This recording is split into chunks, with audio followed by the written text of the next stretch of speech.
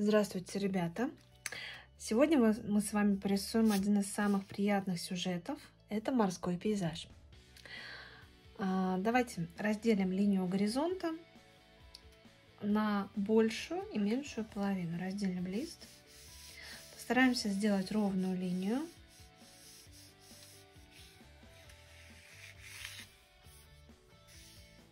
Сильно на карандаш не нажимайте, чтобы под акварелью не было видно а, ну, грязную, грязных этих линий от карандаша.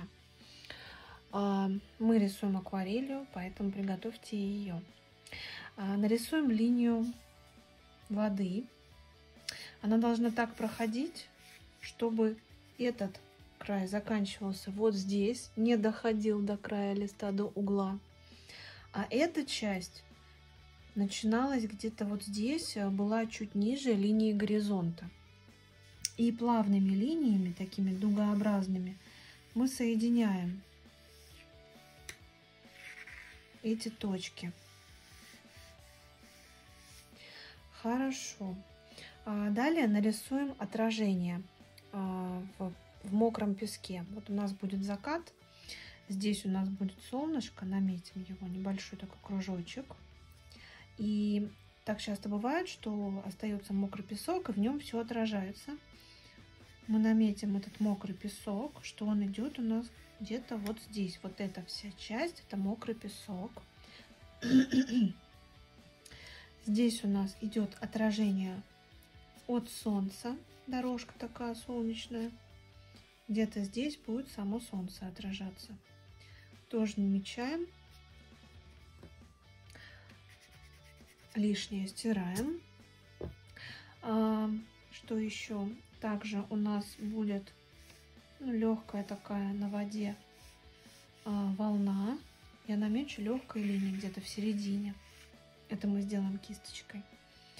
И также будут птички, но мы их тоже наметим кисточкой. Вот единственное, что я бы хотела, чтобы мы наметили размер птичек, чтобы вы не забыли что размер птички не нужно делать огромный. Это обязательно необходимо рисовать тонкой кисточкой, самой тонкой. То есть птички у нас находятся вдалеке. Вот я намечу несколько. Чем дальше птица, тем меньше она.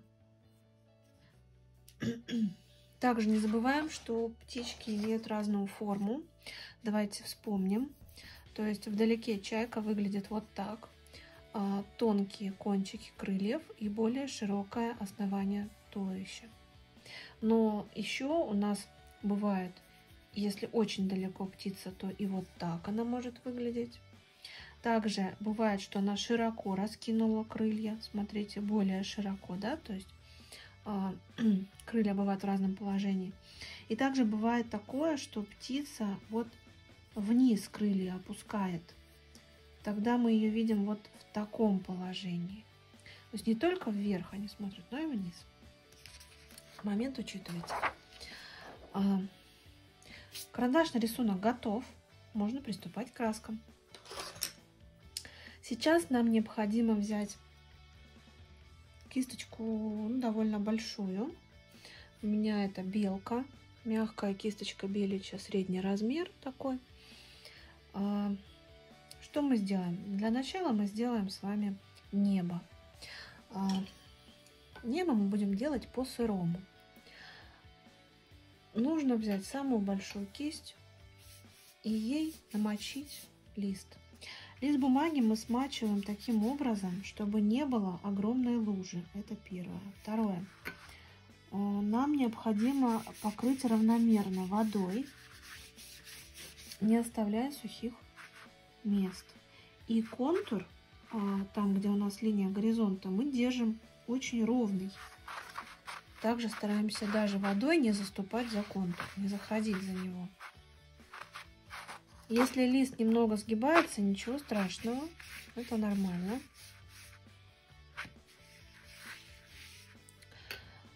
Намешиваем колера. У нас будет несколько оттенков от голубого к желтому, к розовому, к синему.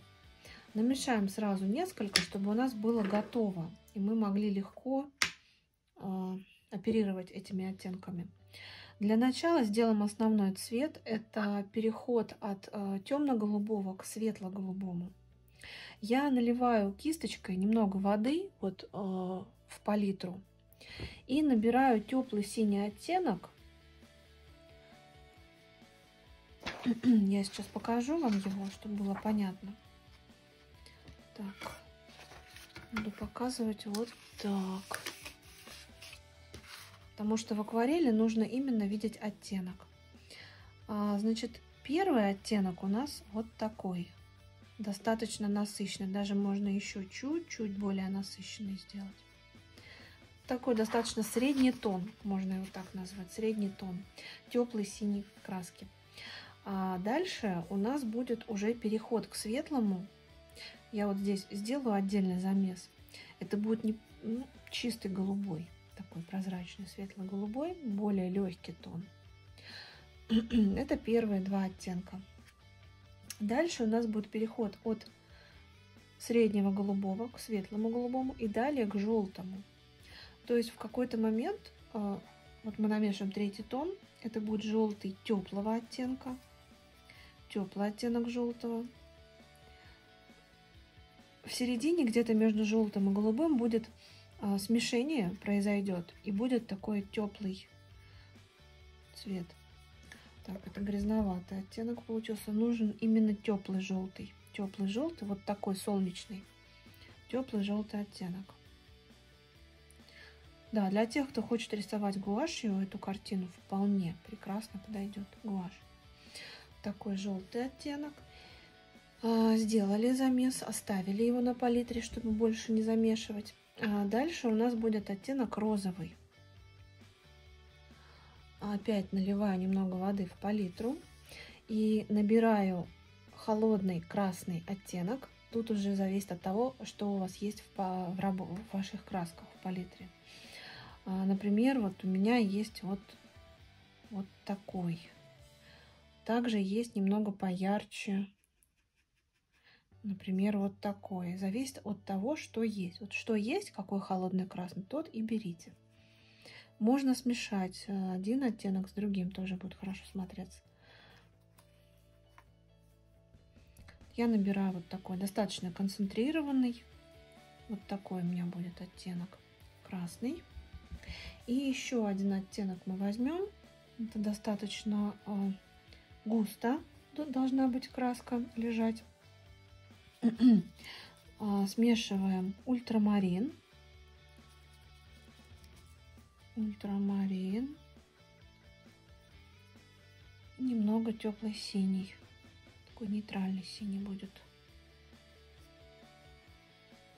Вот такой вот. У нас получается на небе будет раз, два, три, четыре, пять оттенков. Пять оттенков. Хорошо. Можем приступать. Краски готовы, можно приступать. Немного подсохла бумага, можно еще немножко смочить все-таки.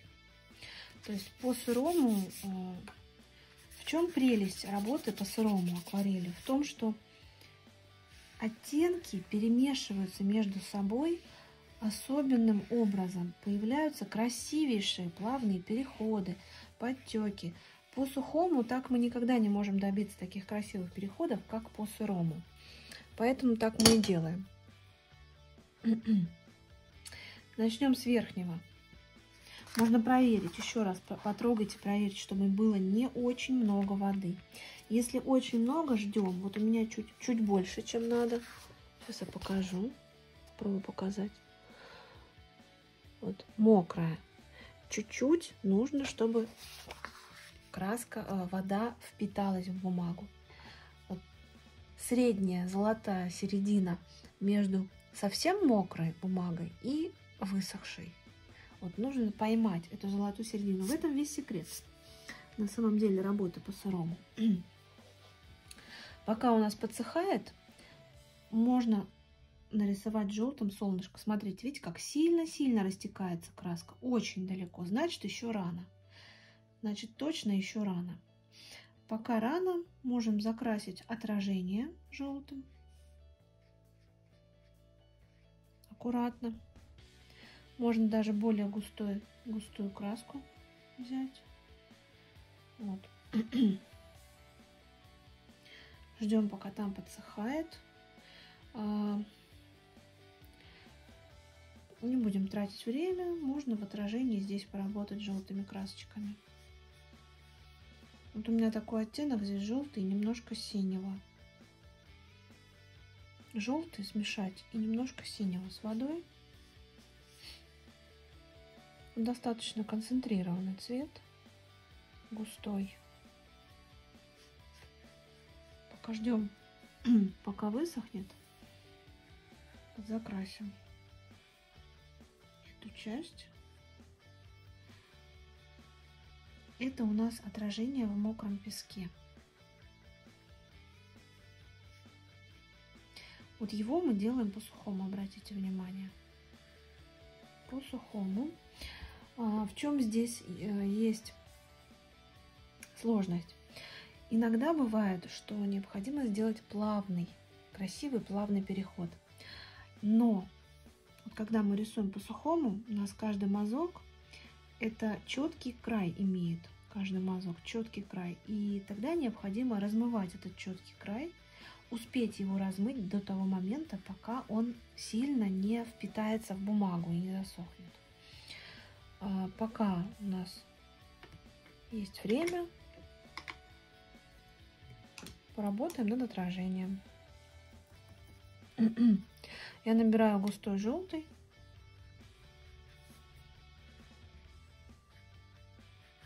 Накладываю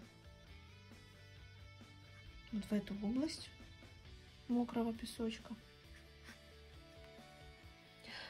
Подмешиваю к желтому оранжевый или красный.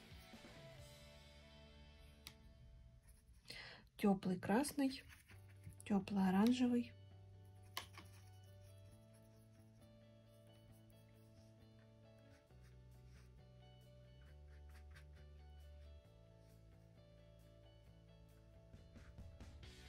Солнышко обходим аккуратно, чтобы его не закрасить.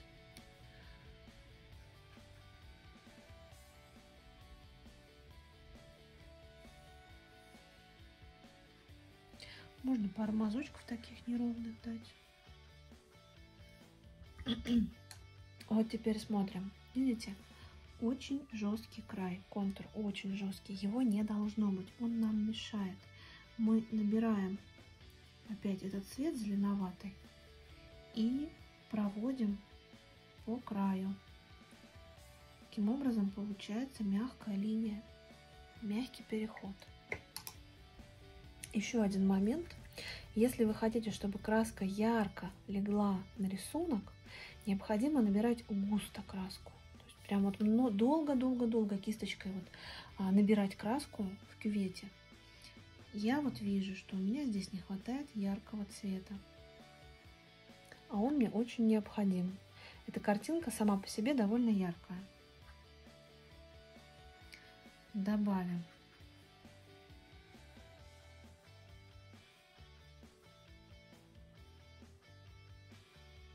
яркости.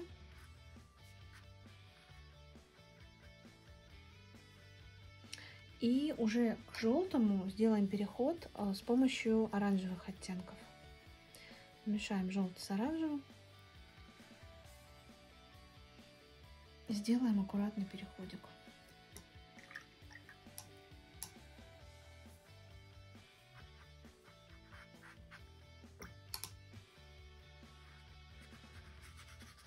Так, немного набрызгала, уберу.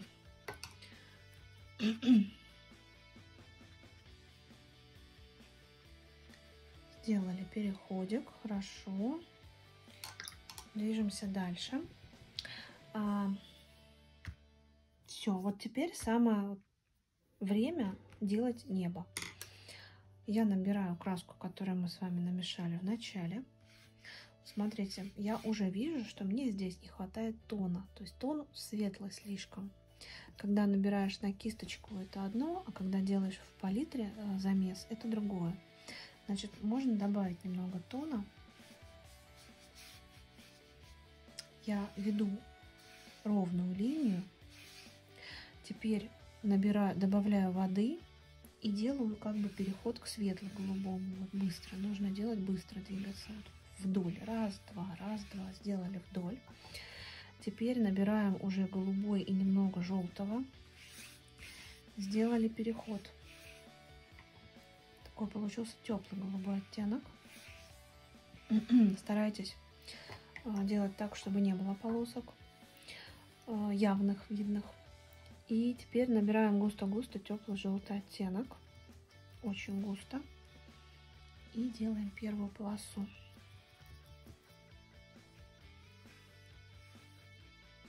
Я вижу, что мне не хватает яркости желтого. Иногда бывает сложно набрать краску только лишь потому, что очень мягкая кисточка. Мягкие кисточки мешают.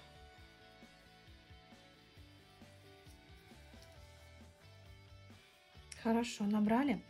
Вот теперь чуть наклонили листик. Смотрите, желтый перетекает в голубой. Получится красивый переход. Дальше. К желтому подмешиваем оранжевый. Можно желтый с красным, например, смешать.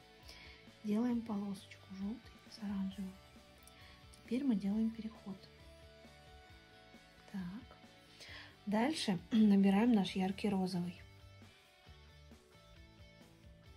Яркий розовый. Стараемся на солнышко не заходить, а обходить его. То солнышко, которое у нас нарисовано. Я вижу, что мне не хватает яркости. И мне не хватает яркого цвета, поэтому я возьму кисточку более жесткую синтетику и наберу краску очень густо на кисть. Очень густо наберу краску. Мне нужно сделать этот яркий цвет насыщенным. Вот так.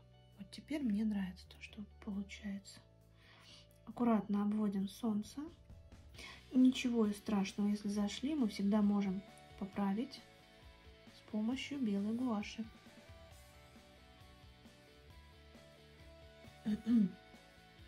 Хорошо. Можно желтый с розовым смешать и сделать переход более плавный. Так. И нам осталось сделать полоску с ультрамарином. Вот наш синий цвет. С ним красиво сливается розовый. Я вижу, что мне не хватает опять тона, насыщенности тона. Вот такой темный должен быть тон. Поэтому я набираю еще краску более насыщенную и делаю линию длинную.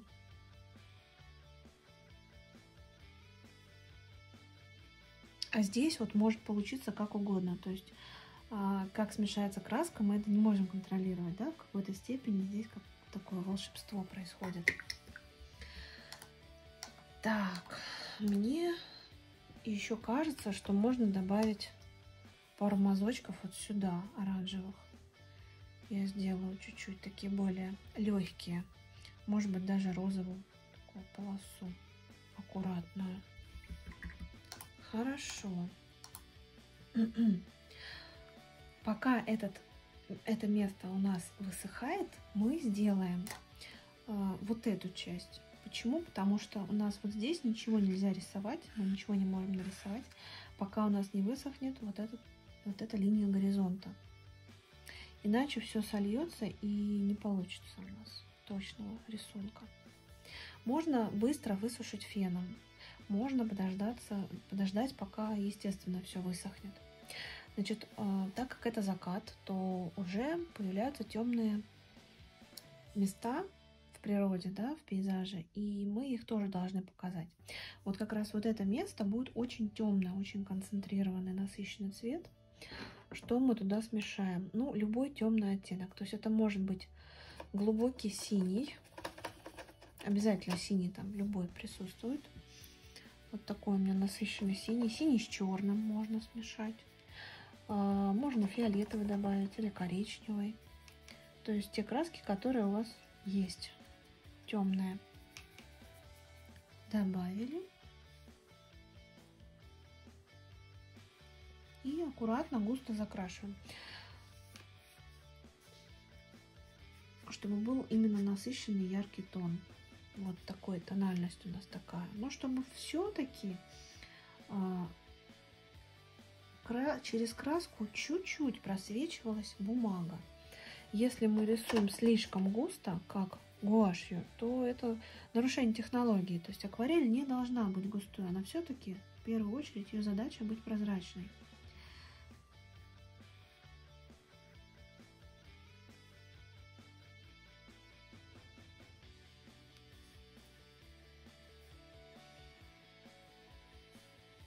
Хорошо. Далее, пока у нас есть этот цвет, оттеняем линию волны. И можно еще такие мелкие точки, как будто камни или какие-то части, природные элементы, брызги, может быть. Хорошо, нам необходимо также сделать небольшой переход вот между этим цветом и этим. Получилось слишком большое различие тональное. Для этого я возьму теплый синий, теплый синий, смешаю его, например, с оранжевым. У меня получается такой насыщенный цвет густой. И здесь еще его хочется добавить сделать такой переход небольшой. И здесь немного.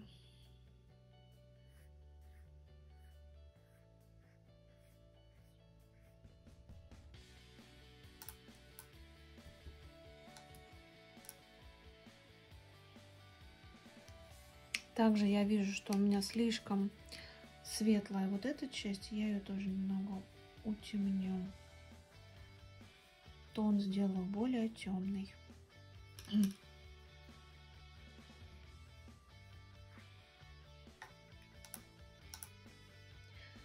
Хорошо. Вот эта часть все равно еще не высохла, но мы поработаем вот с нижней половиной. Какие у нас здесь будут оттенки? Давайте поговорим. Там будут голубые оттенки, смешанные с желтым. То есть вот этот голубой, который у нас был, теплый, синий, с водой, в него мы добавляем либо охру, либо оранжевый, либо желтый по желанию. И аккуратно мазочками проходимся по этой поверхности.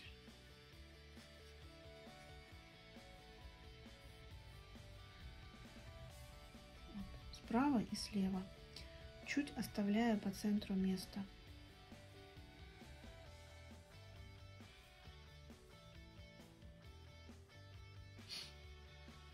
Хорошо, прошлись.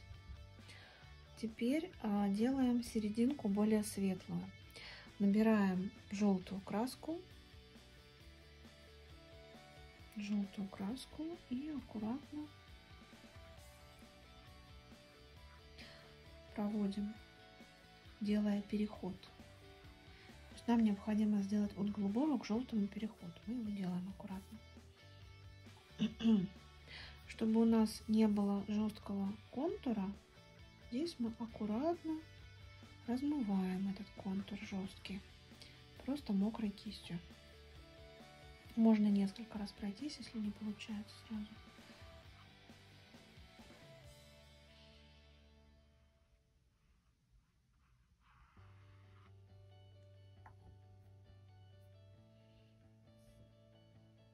Хорошо.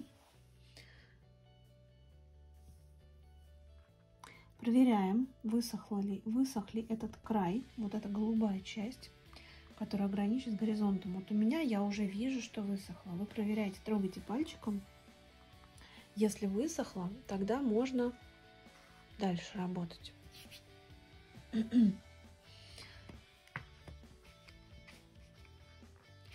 Что я намешиваю? Какие цвета? Вот сюда уже можно больше ультрамарин добавлять, ближе к горизонту. Значит, мы смешиваем ультрамарин с водой. Он должен быть, этот оттенок, светлее, чем небо. Разница между ними вот такая. Легкий тон опять набираем. немного пройдемся справа и слева, а по центру сделаем по центру сделаем такое желтое свечение.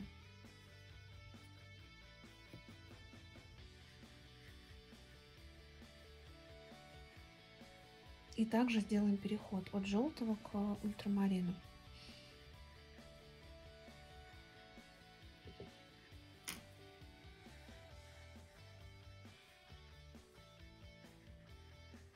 Стараемся не оставлять белых промежутков на рисунке.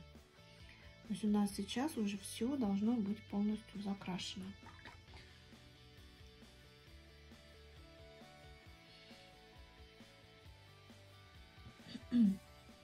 Хорошо, что мы сейчас, э, в принципе, в общем, почти все. Остались детали. А, какие детали? Давайте утемним желтый. Здесь у нас яркий желтый будет отцвет от солнца. Отражение. Утемняем его. Дальше. Далее набираем голубой, теплый синий. Смешиваем с водой немножко с желтеньким или оранжевеньким. И делаем такие легкие волны мазочками. Более концентрированно можно набрать.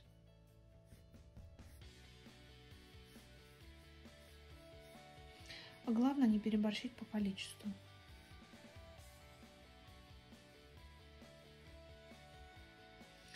Чем дальше от нас волна, тем она светлее.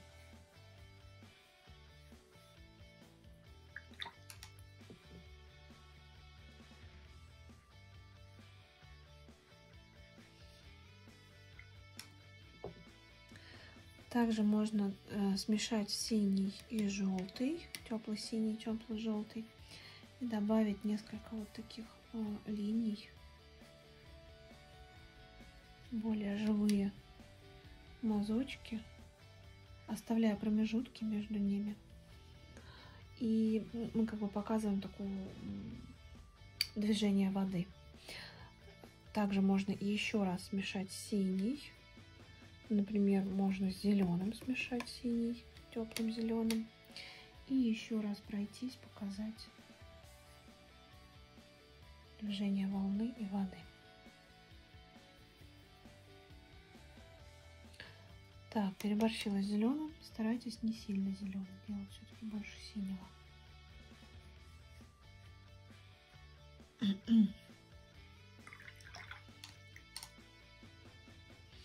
Хорошо, если где-то хочется сделать плавный переход, то постарайтесь его сделать. Вот пока у вас а, кисточку обмыть, отжать лишнюю воду можно. И вот я кисть мою, отжимаю в салфетку и примакиваю. У меня остаются какие-то светлые промежутки, которые мне необходимы. То же самое я здесь могу сделать. Размыть. Также я могу размыть вот здесь. И также можно взять, например, у меня есть такая кисточка, очень хорошая для этих вещей, просто обычная синтетика. А, она с коротким ворсом, он такой коротенький. И он очень жесткий, и им можно размывать вообще все, что угодно. То есть вот я вот так провожу, пожалуйста, я размыла то, что мне необходимо было какие-то лишние линии. Добавить что-то, убрать очень удобно. А вот у меня уже подсохла основная часть. Я вижу, что у меня вот здесь очень жесткий контур. Я его тоже поправлю немного размою. Вот такие вот можно легкие линии дать, будто море волнуется.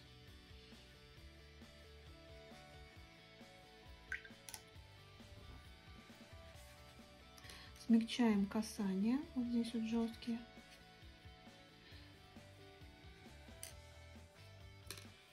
Следите в этом рисунке за тональностью. То есть, что должно быть темнее, что светлее. Эту тональность нужно всегда в любом рисунке смотреть.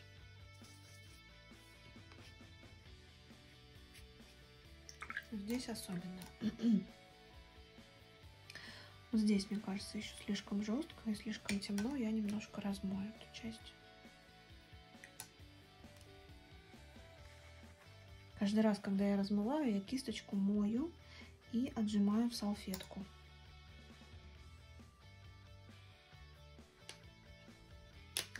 Хорошо. А, мне кажется, вот здесь еще не хватает тональности, усилить тон, подтянуть его. Я возьму, смешаю зеленый и синий, немножко здесь утемню этот кусочек и аккуратно размою его мокрой кистью. Нужно это сделать так, чтобы не поднять, э, не поднять из бумаги первый слой краски, первый тон, который мы уже нанесли. Хорошо. Проверяем наш, наше небо. Где-то в небе уже почти все подсохло, но не везде. Вот где такое, где у меня еще остались мокрые места, но в сухих местах я буду рисовать птичек.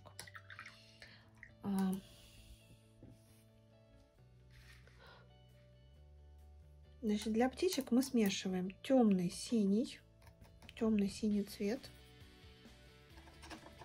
Можно синий с черным. Густо смешали красочку. Проверяем, чтобы было сухо и аккуратно рисуем птичек. Обратите внимание, птички сейчас будут сконцентрированы вот в этой области, нигде больше. И обратите внимание на размеры птичек. Чем ближе к нам птичка, тем она крупнее. Чем дальше, тем мельче. Так, вот здесь сухо-сухо.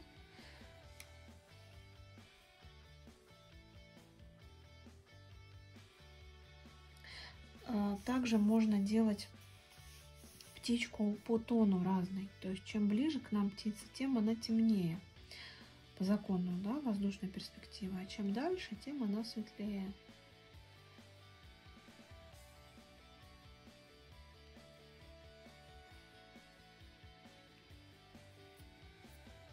Проверяем, чтобы было сухо. Каждый раз перед каждой птичкой проверяйте.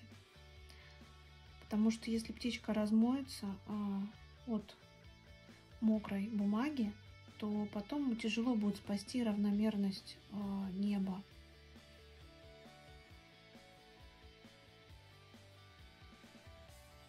То есть подзакрасить мы его сможем, но уже не будет ровного красивого, красивой заливки.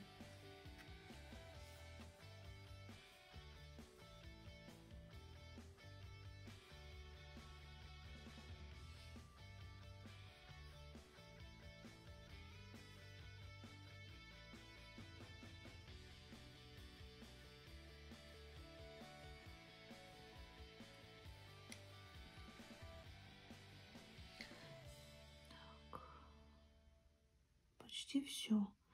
Вот тут еще можно птичку сделать.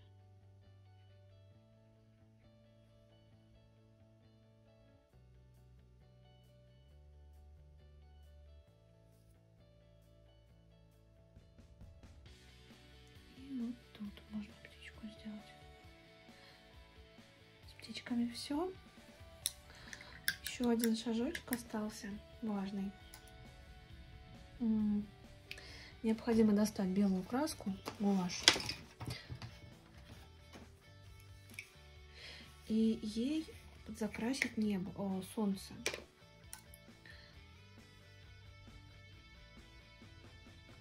А, тут есть тоже один интересный нюанс.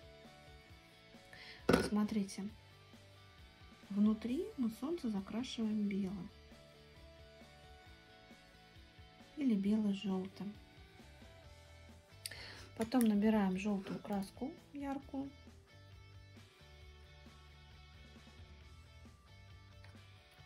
Смешиваем с белой. И аккуратно обводим. То есть у нас появляется такой желтый кантик вокруг солнышка.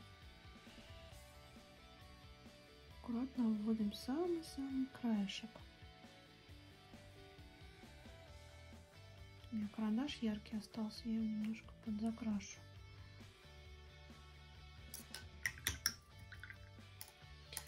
Так, и после этого можно еще взять, например, а хотя нет, нет, тут больше ничего не надо брать, все правильно, все отлично, потому что у нас темное розоватое небо, и на этом темном контрастно ярко будет выглядеть бело-желтым.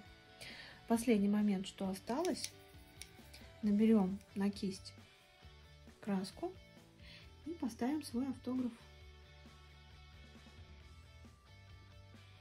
тоненькой кистью.